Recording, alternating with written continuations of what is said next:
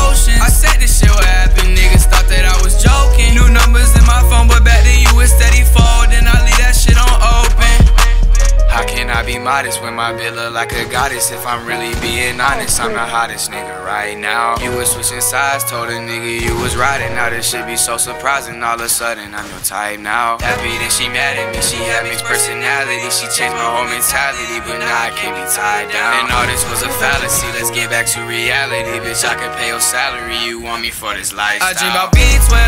I want Cartier on my eyes so I can see well. She might know I.